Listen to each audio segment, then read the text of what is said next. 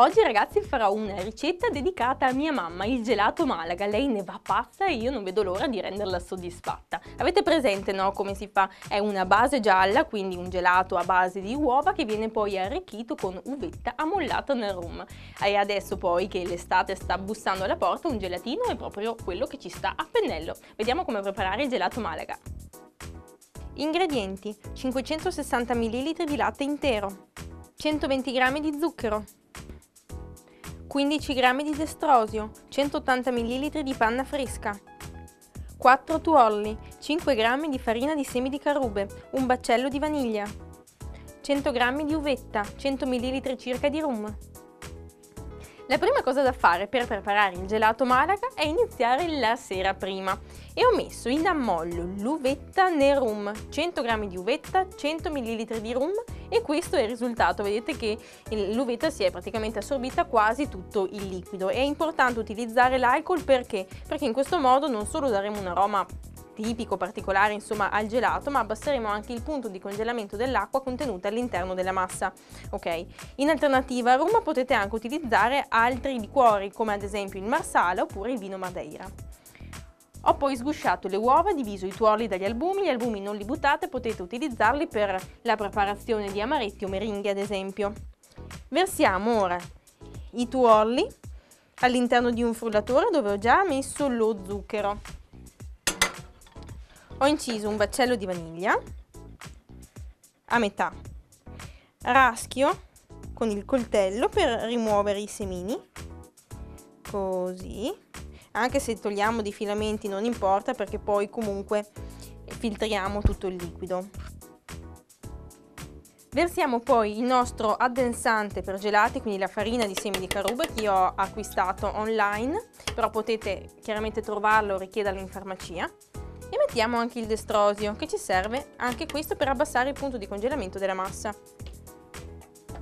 Chiudiamo e lavoriamo il tutto fino a formare una crema, quindi per circa 10 minuti. Nel frattempo versiamo il latte e la panna fresca all'interno di una casseruola.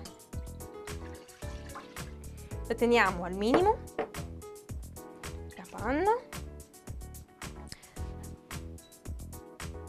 Aromatizziamo con il baccello di vaniglia, ci sono sempre dei semini. Il latte dovrà arrivare alla temperatura di circa 70 gradi. Azioniamo dunque il nostro macchinario. Quando la crema è diventata una spuma ed il latte ha raggiunto la temperatura di circa 70 gradi, possiamo versare il latte all'interno del frullatore al minimo. Ok? Le uova non si stracceranno grazie alla presenza dello zucchero che mm, funge da anticoagulante praticamente.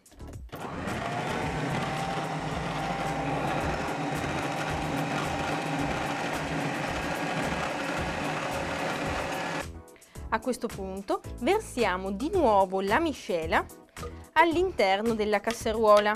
Vedete ho messo un colino per filtrare i eventuali filamenti della vaniglia, vi ricordate?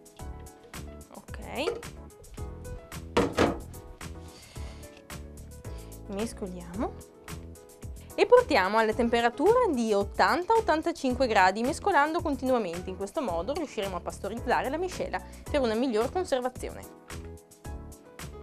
Raggiunti gli 85 gradi vedete che la crema si è un pochino addensata ma non, le uova non si sono stracciate come deve essere Possiamo riporre il tutto in frigorifero, magari aspettiamo circa una mezz'oretta in modo che si abbassi un po' la temperatura senza andare a sovraccaricare il frigo e poi lasciamo completamente raffreddare per circa 8 ore, un'altra notte. Come al solito mi sono già preparata la miscela, vedete che si è addensata molto meglio, adesso si vede.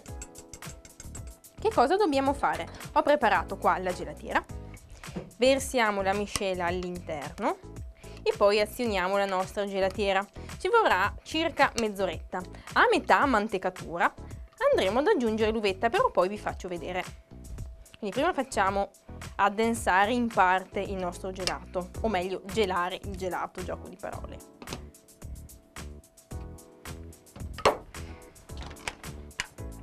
Mantechiamo dunque per 15 minuti e poi vediamo come procedere. A metà mantecatura possiamo unire la nostra uvetta gonfiata con il rum. la mettiamo un po' per volta e versiamo anche tutto il rum, eh? E questo ci aiuterà, come vi dicevo prima, anche a far mantenere il gelato morbido e cremoso. Mantechiamo altri 5 minuti, dopodiché mettiamo in congelatore e lasciamo raffreddare o meglio congelare per un'altra oretta in modo che si rapprenda alla perfezione. Potete comunque replicare il vostro gelato senza gelatiera. Se non ce l'avete, versate la miscela all'interno di una vaschetta dai bordi bassi e piuttosto larga. Andate a mescolare spesso e dopo un paio di ore versate l'uvetta. Fate praticamente la stessa operazione che abbiamo visto qui, mimando l'azione di mantecatura, quindi mescolando spesso. Dopo circa mezz'ora di mantecatura questo è il risultato. Il gelato non è ancora perfettamente formato, ma questo è più che normale per questo tipo di gelatiera. Quindi, come vi dicevo prima, adesso il gelato lo metto all'interno di una vaschetta e poi in congelatore per una o due ore. Poi è pronto da degustare.